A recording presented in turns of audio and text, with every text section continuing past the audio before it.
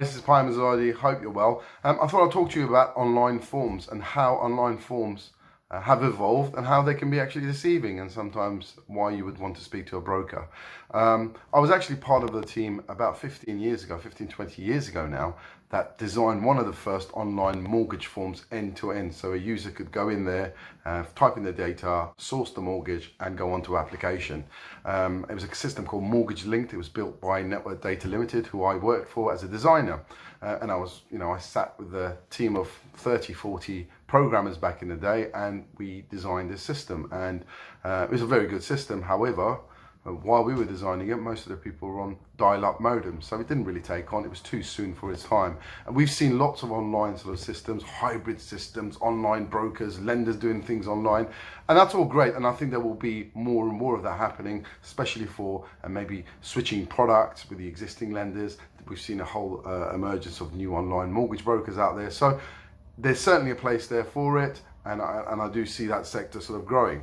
Um, we've got an online form ourselves, for example, um, um, but um, I can tell you now, uh, as a fact, some of the information that goes onto that online form, when you actually speak to the client, it's a completely different story. And what you often get is you get the form completed, and then somebody will actually leave on a note, Can I speak to you, Payam? Because I need to speak to you about this, this, this, this, this, this, this. So advice is always going to be a process when you're dealing with mortgages, hundreds of thousands of pounds of uh, money.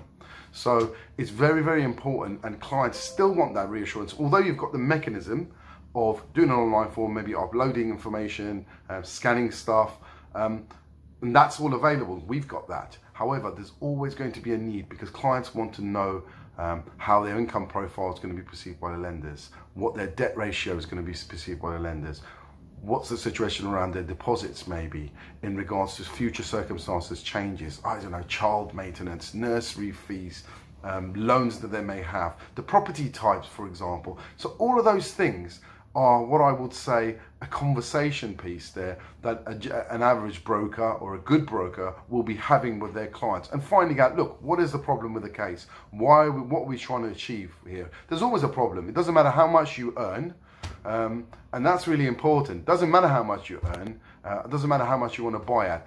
Everyone's pretty much got the same issues, okay? So whether it's affordability, you may be earning £300,000, but you want to buy a £2 million property, so that's an affordability issue. It doesn't really matter whether you're earning £20,000 or want to buy a £100,000 property. So all of those things are um, their sectors. Now, an online form can be clever enough to work some of those out, and that's great, and it will happen but that reassurance factor, the fact that you're speaking to someone who's dealt with this case before, that knows what to do and knows what the lenders will perceive, how the lenders will perceive it, what their criteria are, that's vital. And having that advice is always going to be a part of a mortgage transaction, in my opinion, or should be, um, because that's where the advisor earns their money. That's how we earn our money, because you are essentially, if it was like, if it was that easy, you just go to a comparison site source said the best rate out there. Oh, okay, I'll, I'll go with that.